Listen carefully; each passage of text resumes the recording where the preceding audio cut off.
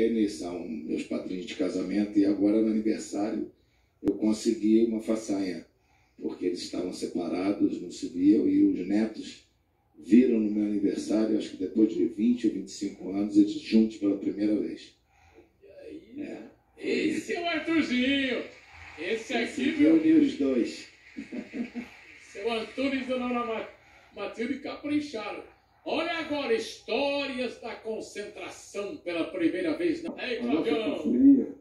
jogando futebol deu tão certo que virou música.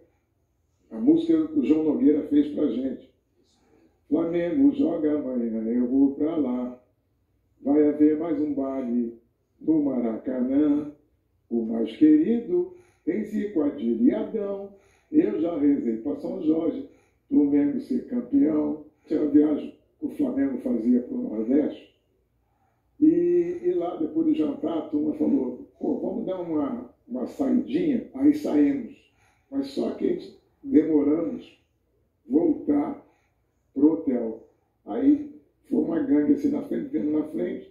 Aí o Domingo Bosco, o supervisor, estava sentado na porta do hotel.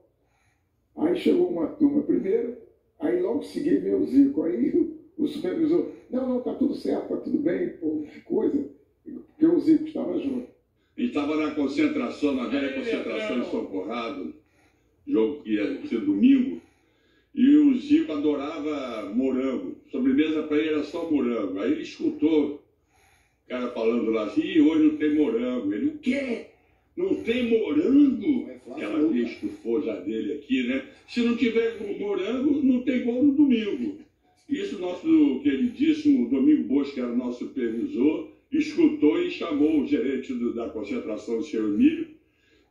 Ô Emílio, sai e traz esse morango de qualquer maneira. Ele pegou o fusquinha dele, saiu pelo Rio de Janeiro, uma hora, uma hora e meia, aí liga pro Bosco. Ô Bosco, não estou conseguindo achar o morango, não. Se vira, chega aqui com o morango, porque se o Zico não fizer gol domingo e o Flamengo perder, o culpado vai ser você. Moral da história, ele apareceu lá depois com a caixinha de morango, o Zico jogou domingo, fez dois gols e nós ganhamos. Se você